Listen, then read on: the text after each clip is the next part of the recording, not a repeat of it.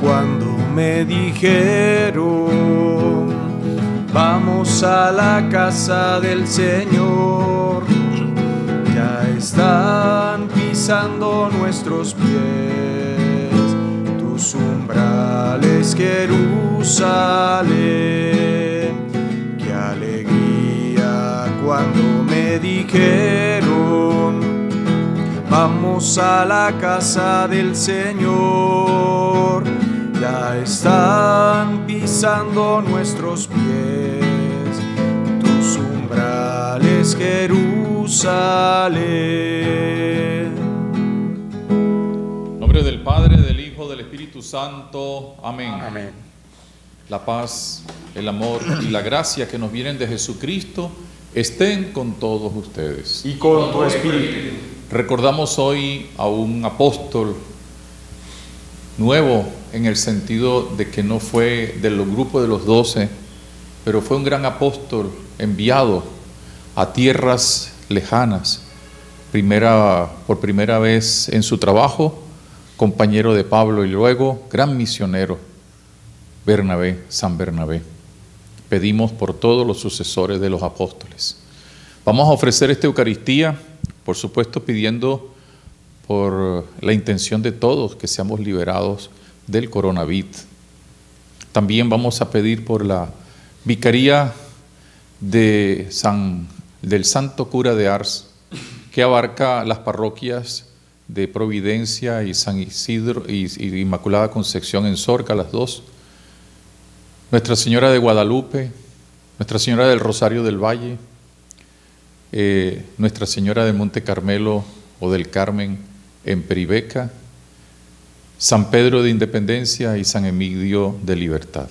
Que el Señor bendiga a todas esas comunidades con la gracia de su amor.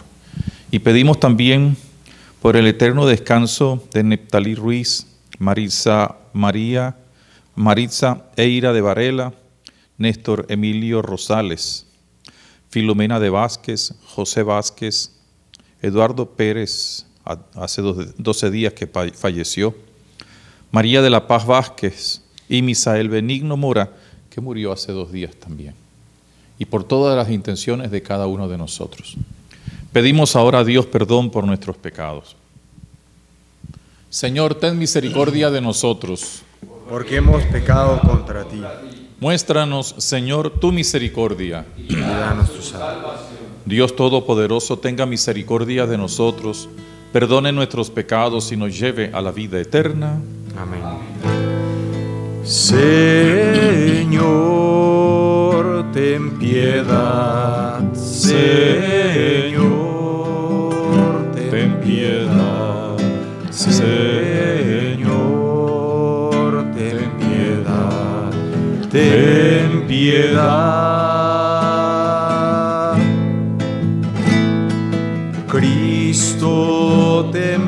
Ten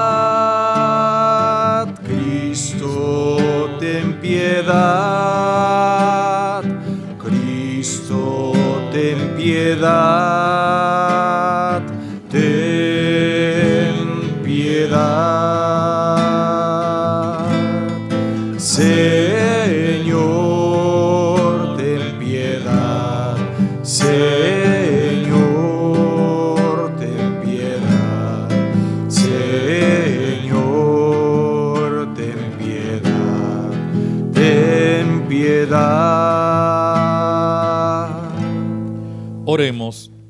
Señor, tú mandaste que San Bernabé, varón lleno de fe y del Espíritu Santo, fuera designado para llevar a las naciones tu mensaje de salvación. Concédenos, te rogamos, que el Evangelio de Cristo que Él anunció con tanta firmeza sea siempre proclamado en la Iglesia con fidelidad de palabra y de obra. Por nuestro Señor Jesucristo, tu Hijo, que vive y reina contigo en la unidad del Espíritu Santo y es Dios, por los siglos de los siglos. Amén.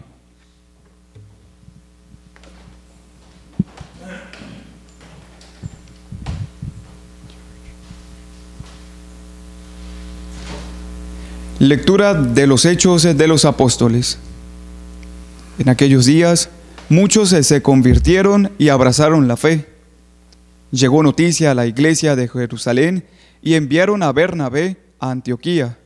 Al llegar y ver la acción de la gracia de Dios, se alegró mucho y exhortó a todos a seguir unidos al Señor con todo empeño. Como era hombre de bien, lleno de Espíritu Santo y de fe, una multitud considerable se adhirió al Señor.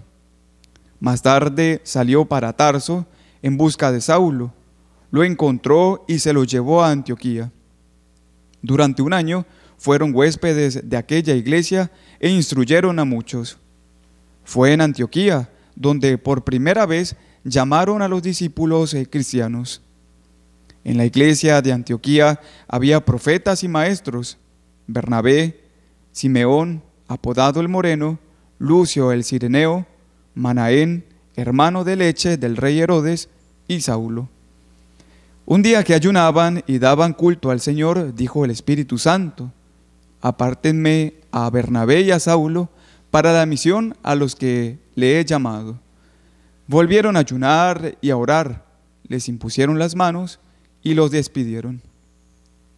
Palabra de Dios. Te alabamos, Señor. El Señor revela a las naciones su justicia. El Señor revela a las naciones su justicia. El Señor revela a las naciones su justicia. Cantad al Señor un cántico nuevo, porque ha hecho maravillas. El Señor revela a las naciones su justicia. Su diestra le ha dado la victoria, su santo brazo. El Señor da a conocer su victoria, revela a las naciones su justicia. Se acordó de su misericordia y su fidelidad en favor de la casa de Israel.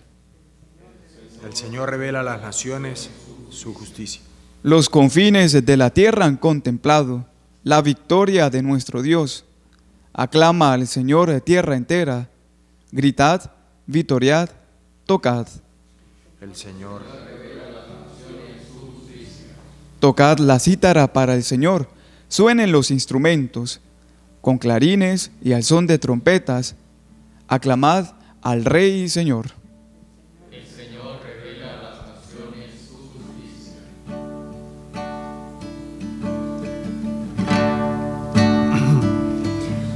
Palabra, Señor, da la vida.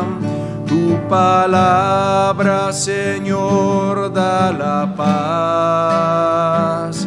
Tu palabra, Señor, es eterna. Tu palabra es la verdad.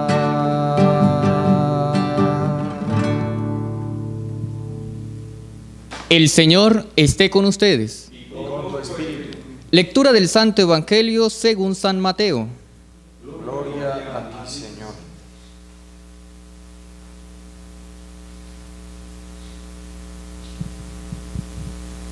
En aquel tiempo, Jesús dijo a sus discípulos, les aseguro que si su justicia no es mayor que la de los escribas y fariseos, ciertamente no entrarán ustedes en el reino de los cielos. Han oído ustedes que se dijo a los antiguos, no matarás, y el que mate será llevado ante el tribunal.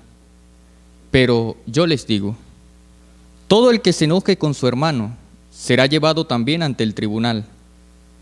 El que insulte a su hermano será llevado ante el tribunal supremo, y el que lo desprecie será llevado al fuego del lugar de castigo. Por lo tanto, si cuando vas a poner tu ofrenda sobre el altar, te acuerdas allí mismo de que tu hermano tiene alguna queja contra ti, deja tu ofrenda junto al altar y ve primero a reconciliarte con tu hermano, y vuelve luego a presentar tu ofrenda. Arréglate pronto con tu adversario, mientras vas con él por el camino. No sea que te entregue al juez, el juez al policía, y te metan a la cárcel.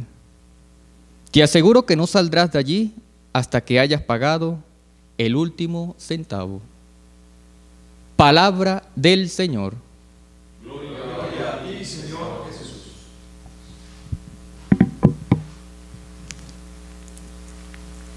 Por estas palabras del Santo Evangelio sean perdonados nuestros pecados. Amén.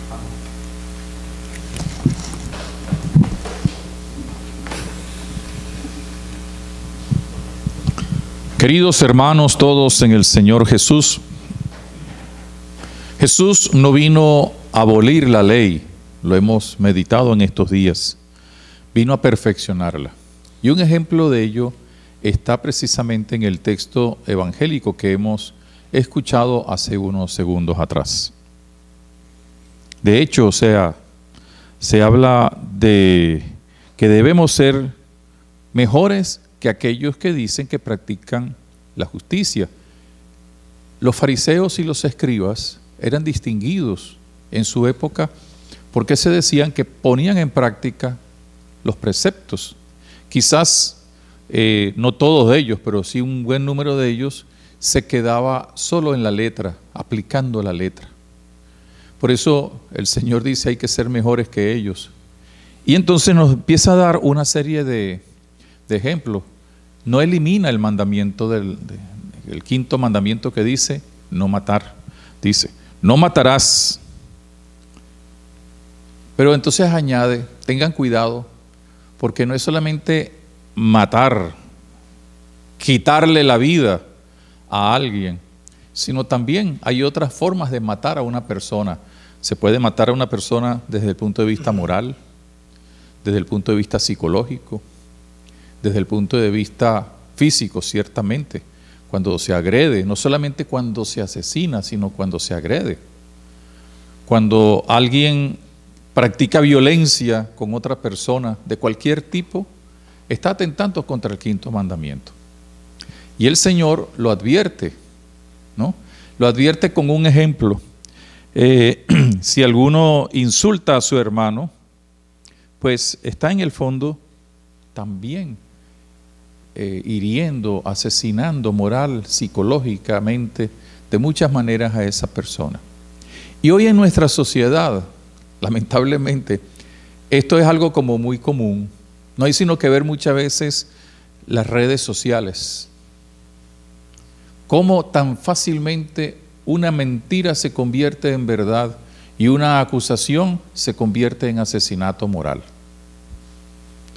En estos días, por ejemplo, salía una noticia X donde se hablaba mal de una persona. Uy, eso ocurrió, pero una barbaridad. Y después, cuando se demostró lo contrario, ninguno de los que había escrito dándole retuitear o dándole mayor difusión fue capaz de decir, yo me arrepiento. Sin embargo, esa persona sufrió. Afortunadamente se le recuperó en su fama, pero quedó golpeada. Y eso nos sucede con mucha frecuencia. Y entonces fíjense lo que dice el Señor. Si alguno de ustedes, antes de ir a hacer la ofrenda, está peleado con otro, está, ha roto la amistad con otro o ha atacado al otro, que deje primero la ofrenda y vaya a reconciliarse para que tenga valor esa, esa ofrenda. A ti y a mí nos puede suceder eso, a todos nosotros nos puede suceder el que vayamos a la Eucaristía con rencores, con odios, con retaliaciones, con ofensas. Una vez eh, escuché yo hace muchos años una cosa que me llamó mucho la atención. Dice, se ve que un, sacerdote había peleado con, alguna familia, X cosa. Y entonces la señora me decía, yo no voy a esa misa porque esa misa no vale, porque lo está diciendo el sinvergüenza ese del cura ese. Entonces yo le decía, mire, puede ser que usted tenga razón en sentirse dolida, pero ¿Por qué no nos reconciliamos? Vamos a buscar la reconciliación. No, ese no merece reconciliarse, no, no merece perdón de Dios, no tiene perdón de Dios. Resulta que Dios es perdón. Pero eso no puede suceder no solamente con el sacerdote, no puede suceder. Yo estoy peleado con mi esposa, o con mi esposo, o con mis hijos, pero voy a comulgar. Ah, eso sí, eso no me lo puede quitar nadie. Y van a la misa los dos, pero no se dan el abrazo de la paz porque están peleados y cada uno va a comer el pan eucarístico, uno en una fila y el otro en otra fila. ¿Por qué no se reconcilian? Yo no me reconcilio con esa cuaima, yo no me reconcilio con esa serpiente, dirá ella entonces. No, El Señor vino a perfeccionar la ley y la vino a perfeccionar mejorándola. Y por eso entre las cosas que nos ha pedido a nosotros está una cuestión que Él dio ejemplo, nos dio el ejemplo, ciertamente, pero que es muy difícil. Y una de esas es el perdón. Y en nuestra sociedad necesita que nosotros pensemos mucho más en el perdón, en la reconciliación. Hay mucha venganza, no solamente por lo político, sino por tantas cosas. Hay mucha discriminación. Hay mucha retaliación. Hay mucho deseo de venganza. Y el Señor nos ha pedido que nos reconciliemos. Ojo, nos ha pedido, nos ha mandado que seamos hermanos. Por eso cuando meditamos un poco esta, el, el discurso de la montaña, el sermón de la montaña del capítulo 5 y siguiente del Evangelio de Mateo, nos vamos a encontrar con ejemplos muy concretos. Queremos ser luz, Queremos seguir a Dios que no vino a quitar la ley, sino a perfeccionarla. Pero ojalá que, no sé, esto lo pudieran eliminar del Evangelio. No, eso no se puede eliminar porque es palabra de Dios.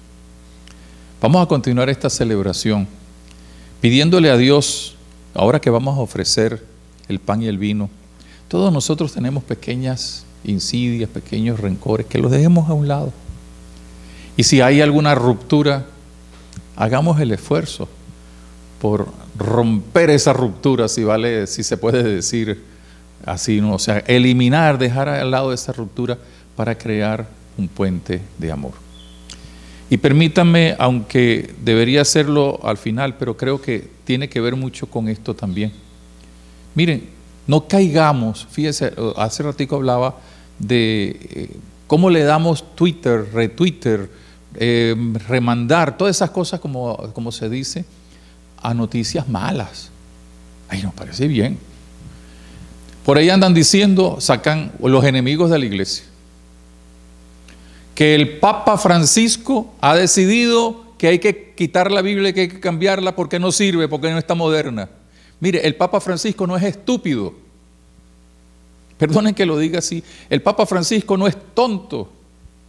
Estúpidos y tontos son aquellos que fabrican esa noticia y más tontos y más estúpidos aquellos que lo mandan para todo el mundo, diciendo si es verdad, porque este Papa está cambiando las cosas.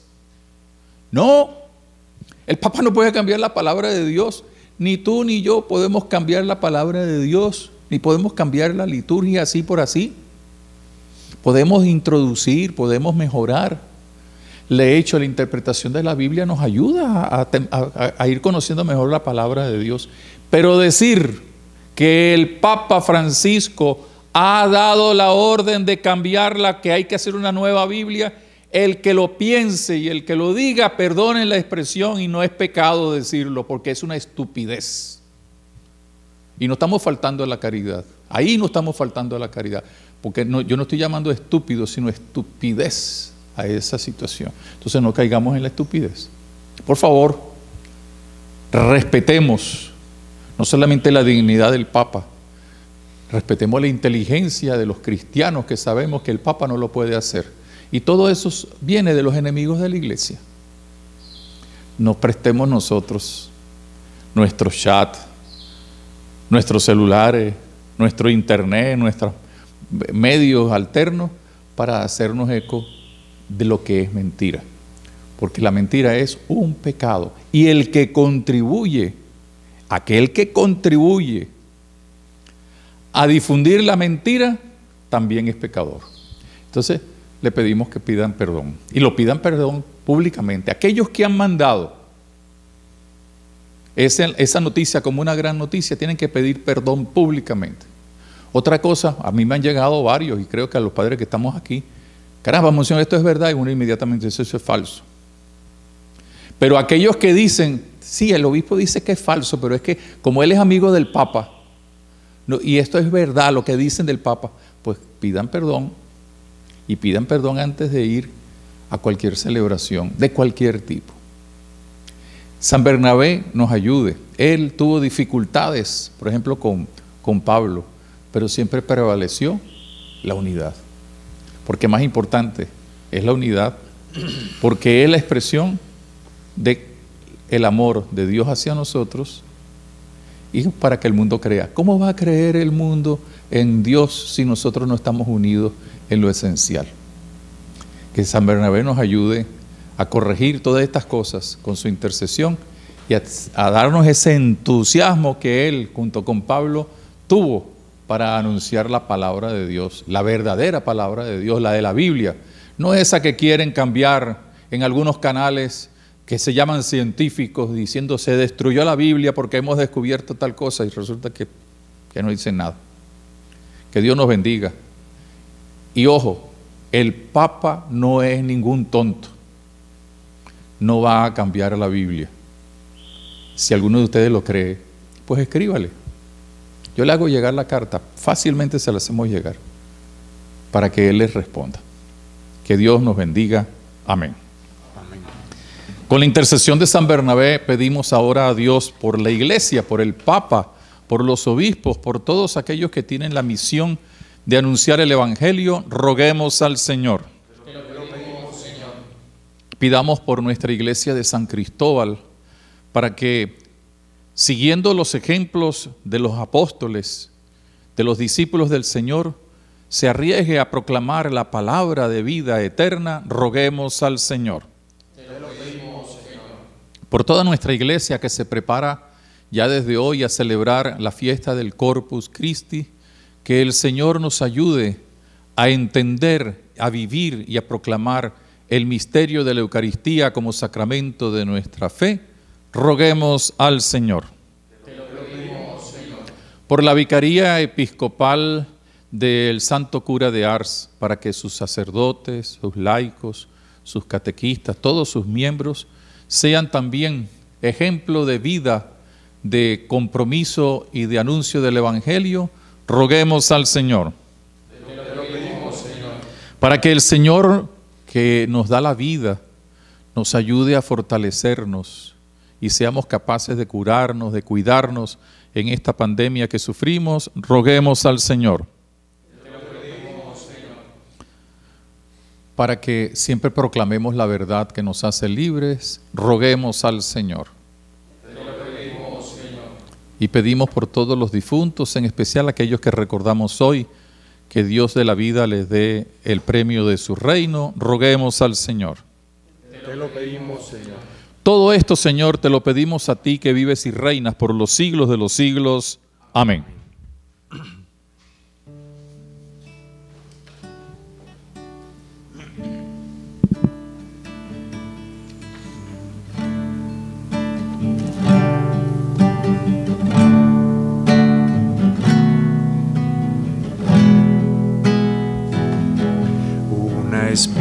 Espiga dorada por el sol. El racimo que corta el viñador. Se convierten ahora en pan y vino de amor en el cuerpo y la sangre del Señor. Se convierten ahora en pan y vino de amor en el cuerpo y la sangre del Señor. Compartimos la misma comunión. Somos trigos del mismo sembrador. Un molino la vida nos tritura con dolor. Dios nos hace Eucaristía en el amor. Un molino la vida nos tritura con dolor. Dios nos hace Eucaristía en el amor. Oremos hermanos para que este sacrificio que es de todos nosotros sea agradable a Dios Padre Todopoderoso.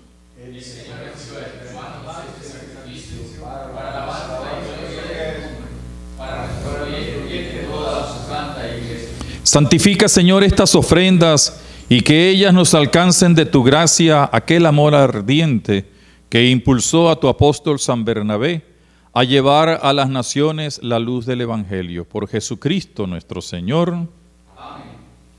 El Señor esté con ustedes. Levantemos el corazón. Demos gracias al Señor que es nuestro Dios. En verdad es justo y necesario, es nuestro deber y causa de nuestra salvación.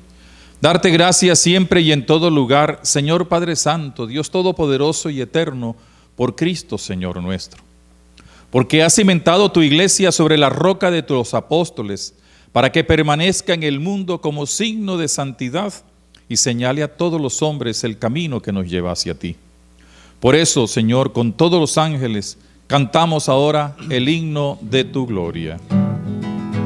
Santo, santo, santo, santo es el Señor. El cielo y la tierra están llenos de ti. Osana, Osana, Osana, los ángeles cantan. Osana, Osana, Osana, cantemos a Dios. Bendito es Cristo que viene en el nombre del Señor. Bendito es Cristo que viene en el nombre del Señor. Osana, Osana, Osana, los ángeles cantan. Osana, Osana, Osana, cantemos a Dios. Santo eres en verdad, Padre, fuente de toda santidad. Por eso te pedimos que santifiques estos dones con la efusión de tu Espíritu, de manera que se conviertan para nosotros en el cuerpo la sangre de Jesucristo nuestro Señor, el cual, cuando iba a ser entregado a su pasión voluntariamente aceptada, tomó pan.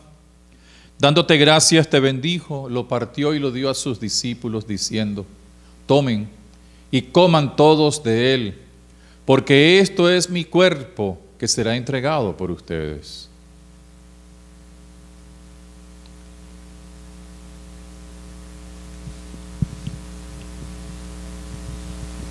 Del mismo modo, acabada la cena, tomó el cáliz y dándote gracias de nuevo, lo pasó a sus discípulos diciendo, tomen y beban todos de él, porque este es el cáliz de mi sangre, sangre de la alianza nueva y eterna, que será derramada por ustedes y por muchos para el perdón de los pecados. Hagan esto en conmemoración mía.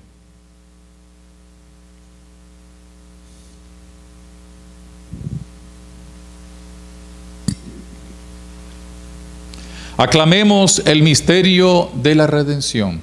Cada vez que comemos de este pan y bebemos de este cáliz, anunciamos tu muerte, Señor, hasta que vuelvas. Así pues, Padre, al celebrar ahora el memorial de la muerte y resurrección de tu Hijo, te ofrecemos el pan de vida y el cáliz de salvación, y te damos gracias porque nos haces dignos de servirte en tu presencia.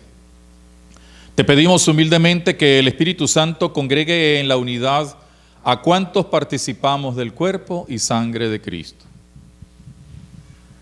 Acuérdate, Señor, de tu iglesia extendida por toda la tierra, y con el Papa Francisco, con nuestro obispo Mario, y todos los pastores que cuidan de tu pueblo, llévala a su perfección por la caridad.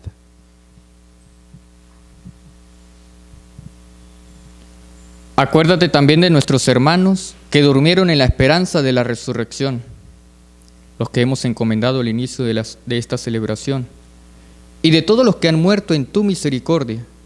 Admítelos a contemplar la luz de tu rostro. Ten misericordia de todos nosotros, y así, con María la Virgen, Madre de Dios, su esposo San José, San Bernabé, los apóstoles y cuantos vivieron en tu amistad a través de los tiempos, merezcamos por tu Hijo Jesucristo compartir la vida eterna y cantar tus alabanzas.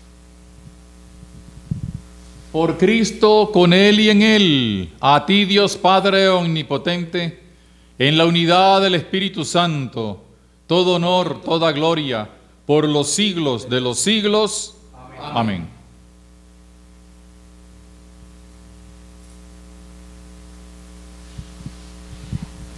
Con la certeza de que Cristo actúa en nosotros y nos ha hecho hijos del Padre, podemos decir, Padre nuestro, que estás en el cielo, santificado sea tu nombre, venga a nosotros tu reino, hágase tu voluntad en la tierra como en el cielo.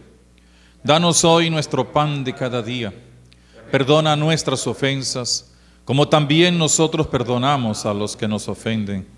No nos dejes caer en la tentación y líbranos del mal.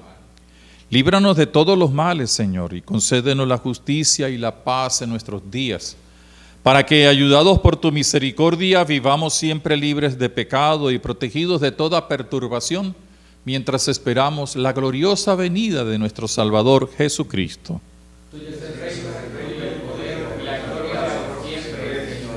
Señor Jesucristo, que dijiste a tus apóstoles, la paz les dejo, mi paz les doy. No tengas en cuenta nuestros pecados, sino la fe de tu iglesia, y conforme a tu palabra, concédele la paz y la unidad tú que vives y reinas por los siglos de los siglos, que la paz de Jesucristo esté con todos ustedes. Y con tu espíritu.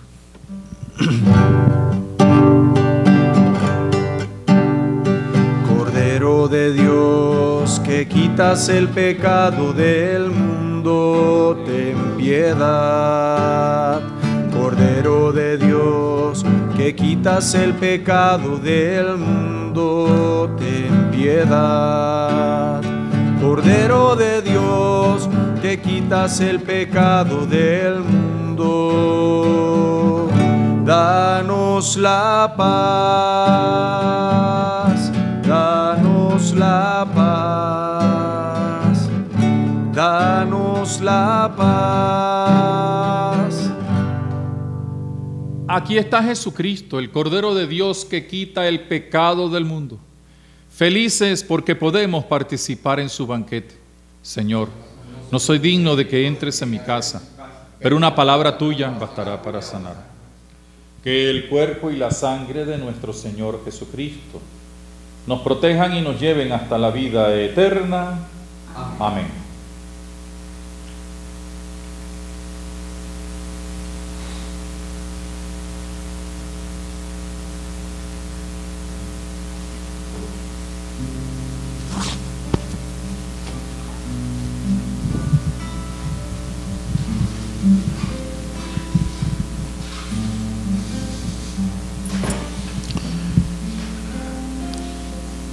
Podemos decir juntos, te damos gracias, Dios del amor.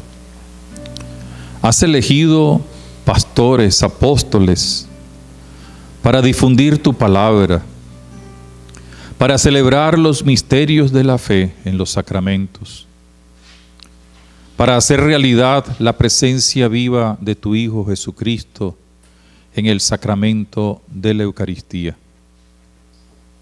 No te podemos recibir sacramentalmente, pero dado que te hemos recibido en la palabra pan de vida eterna, permanece en nosotros para que podamos entonces ser fieles discípulos tuyos, como Bernabé, testigos de la resurrección de Jesús. Amén.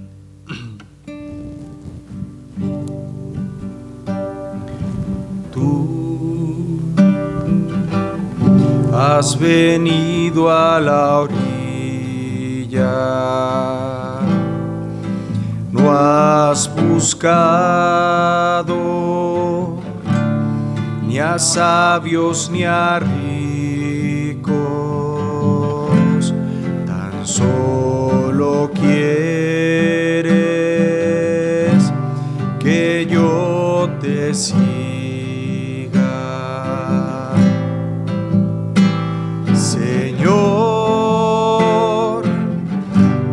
Mirado a los ojos, sonriendo, has dicho mi nombre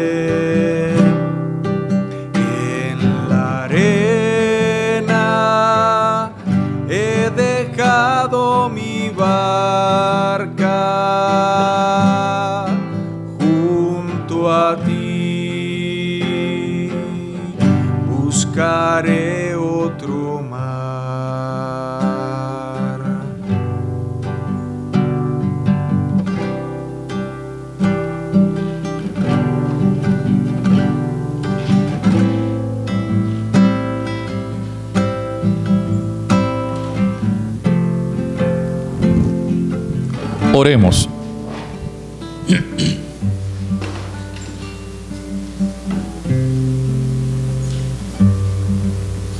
Después de recibir en esta Eucaristía la prenda de la vida eterna, te suplicamos, Señor, que cuanto hoy celebramos y realizamos en imagen, al conmemorar a San Bernabé, lo alcancemos un día como plena realidad en el cielo. Por Jesucristo nuestro Señor. Recordamos que seguimos en el curso de la Eucaristía, hoy a las 10 de la mañana y 9 de la noche en reposición por Radio Natividad y también por los canales YouTube y eh, la página web de la diócesis. Hoy también en esta tarde, a partir de las 4 de la tarde, estará en el canal YouTube de la diócesis la hora santa que hemos preparado como inicio ya de estos días a la fiesta del Corpus Christi, del cuerpo de Cristo. También será transmitido por la radio, por la televisión, pero ojalá que aquellos que la puedan tener y difundir lo hagan y ojalá que también en familia, sea en torno a la radio, en torno a la televisión, en torno a estos medios alternos, podamos unirnos en oración para adorar al Señor que está presente en la Eucaristía. Y el próximo domingo tendremos en todas nuestras parroquias al mediodía la bendición con el Santísimo. No vamos a salir en procesión este año porque tenemos las restricciones de la cuarentena, pero sí podemos bendecir desde la puerta de, nuestros templos, de nuestras iglesias, pues eh, el norte, el sur, el este, el oeste de cada una de nuestras comunidades. Y ojalá que cada uno de nosotros en su casa, sea fuera o dentro, ponga un símbolo eucarístico, por ejemplo, una velita prendida o un ramo de flores que nos haga pensar que estamos también en oración ante el Santísimo Sacramento. No olvidemos de cuidarnos.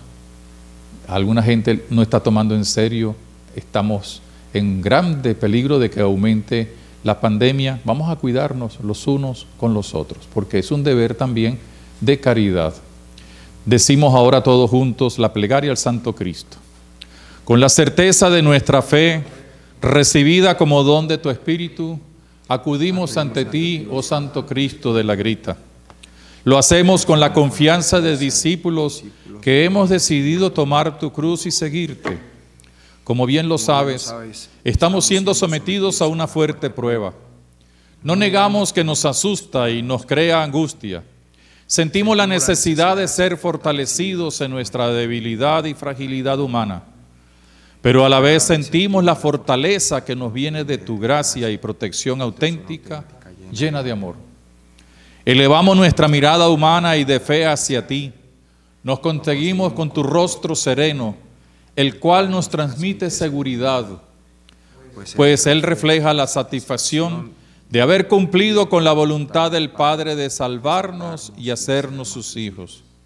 Tus labios entreabiertos sabemos que siguen orando al Padre por nosotros, sobre todo en este tiempo de emergencia sanitaria. Contemplamos tus brazos abiertos y clavados en la cruz, con los cuales nos sostienes, para no ser vencidos por la tentación y la prueba, y a la vez para abrazarnos amorosamente y entonces poder comprobar que somos protegidos de todo mal y adversidad.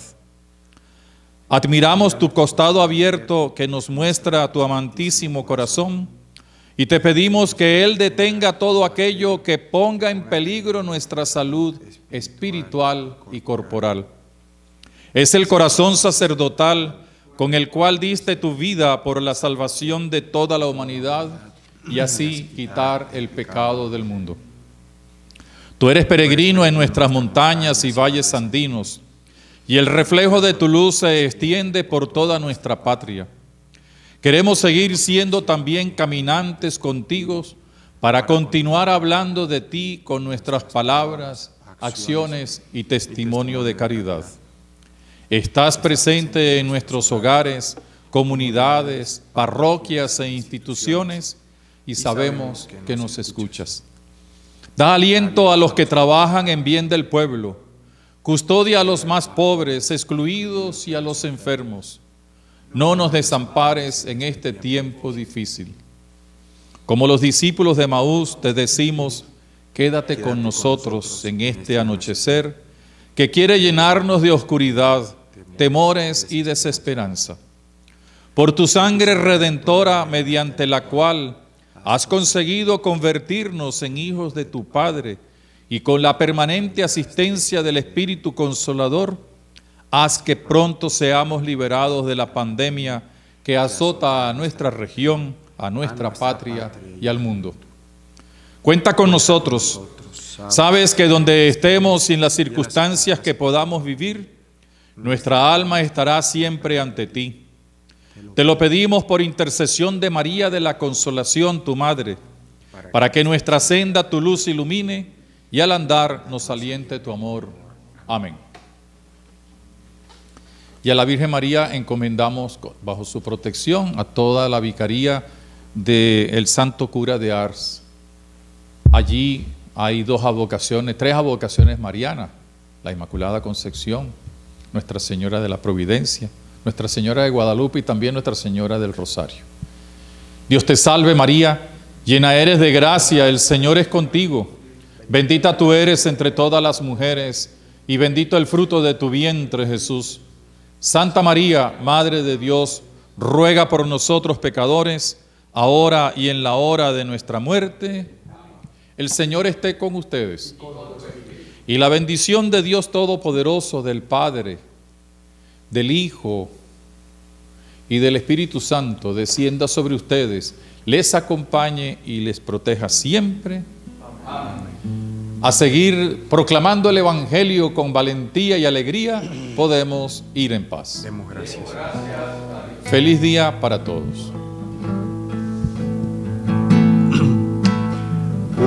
A ti, María, como un niño quiero estar Tómame en tus brazos, guíame en mi caminar.